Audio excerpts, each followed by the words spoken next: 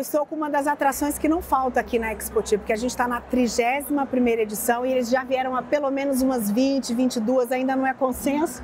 Eu estou aqui com nenhum de nós. Eu vou falar os nomes aqui. A gente tem ali o Veco. Oiê. Sadi. Ele. Carlos. E Tedi. Olá, gente, tudo bem? Eles estão há 37 anos juntos. Vocês se conheceram tradicionalmente na escola, no bairro e formaram a banda? Como é que foi isso? Conta pra gente. A gente foi colega de escola, o Carlos e eu desde o primeiro do fundamental. Depois o Tidi entrou um pouco depois, já no, na quarta série. E depois já no, no, no ensino médio, o Veco, no colégio La Salle Dores, em Porto Alegre. E a gente tinha uma amizade musical. Né? O Carlão começou a tocar já naquela época, o Tedi também arranhava, o Veco ia violão para o colégio. Aí depois, na época da faculdade, que a gente acabou resolvendo fazer a banda naquela grande leva das bandas brasileiras né, de, dos anos 80. Mais uma grande leva que deu certo, porque vocês estão juntos até hoje, né? E é muito complicado manter uma banda durante tanto tempo? Olha, qualquer, qualquer iniciativa, digamos assim, que, que, que começa e tu jamais vai prever que ela vai chegar tão longe assim, né? Nós, quando começamos a banda, a gente pensou, ah, se durar uns dois ou três anos já está bem legal, né? E, Sabiam então, de nada, né?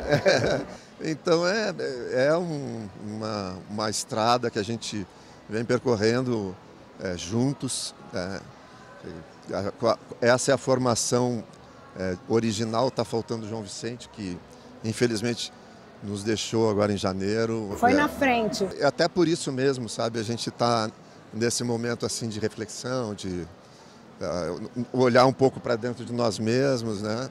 Porque é uma é uma subtração assim que a gente sente importante, né? Muito. E eu acho que é um show também muito emocionante porque fala de tudo que o Rio Grande do Sul está vivendo. Eles todos são do Rio Grande do Sul, moram em Porto Alegre é um momento delicado que vocês estão passando, ver o Estado dessa forma. Sim, é, deu a casualidade né, de estar tá acontecendo tudo o que está acontecendo por lá, acho que todo mundo está sabendo. Mas tem um outro lado essa questão, assim, eu estava comentando que eu vi, fui numa loja lá comprar uma, uma coisa que eu estava precisando para os meus equipamentos lá, que também foram afetados pela, pela, pela enchente, né? E a loja ela fica numa região que foi muito afetada.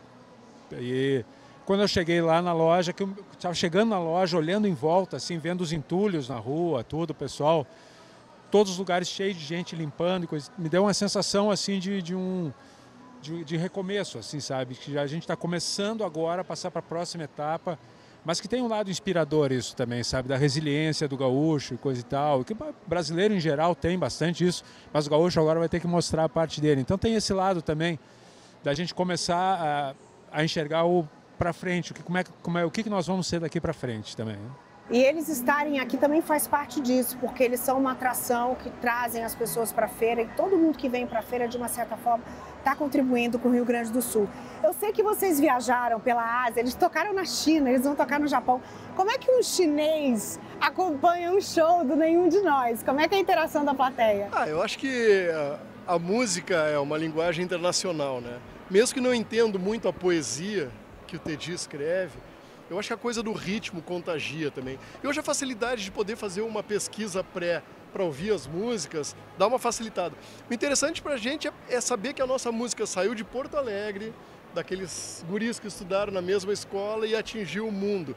Isso é muito legal, isso é uma, digamos que uma conquista uma cereja muito bacana para o nosso bolo do Neon de Nós. Né? Veco, você falou uma coisa interessante, porque a gente canta as músicas desde que elas existem, há, há, há três décadas. A gente está falando aqui de, por exemplo, Camila, o astronauta de mármore. Eles foram precursores em falar de violência doméstica. A música da Camila fala disso, já foi usada em campanhas, o Ted estava me falando. E eu nunca tinha parado para perceber isso. Vocês foram pioneiros nisso também. E a gente fica muito feliz em saber que essa consciência já está vindo há muito tempo, né? É, Camila, ela quebrou vários eh, paradigmas, assim, e inclusive uma resistência que a gente insistiu em fazer a música desse jeito, com essa temática, e não, nunca pensou assim, ah, ela vai fazer sucesso. A gente queria falar desse tema. E, e falavam, não, mas é um, a música tem que ter três minutos, a Camila, a Camila tinha cinco, tem cinco minutos e tal. E ela foi mostrando para as pessoas que a força da canção era maior que qualquer outra coisa de mercado ou dessas regras que as pessoas às vezes pensam que tem que se impor para o processo criativo. A gente pensou, a gente precisa falar disso e a gente abordou esse tema e realmente é, somos de uma certa maneira é, precursores desse tema dentro do rock brasileiro. E como o Saidi estava falando, a gente acabou impactando a vida das pessoas de uma maneira que é difícil mensurar, mas o IBGE nos falou isso. O número de Camilas aumentou muito no Brasil depois do sucesso da música. Eles são padrinhos de todas as Camilas que a gente conhece por aí desde 87 para cá. Quero saber qual é a relação de vocês com Brasília, porque vocês vêm para cá pelo menos há 20 anos só para Expotier. Nem sei a relação que vocês têm com outras bandas locais, shows Tá afinado com Brasília? Conhece Brasília? Eu, eu uh, já fiquei bastante tempo aqui, porque meu irmão morou um tempo. E quando eu vinha para esse Potier, eu já ficava um pouco com o Mano. E aí conheci, conheci desde o Catetinho até o, o Memorial JK, eh, aqui os arredores. O Carlão sempre teve interesse extra por causa da arquitetura, né, Carlão? E isso aí, uh, a gente uh, vê Brasília de longe e tem uma impressão. Aí quando chega aqui, confirma. É um, é, gosta do que vê? É legal. Eu, eu, só queria me lembrar de uma coisa minha memória.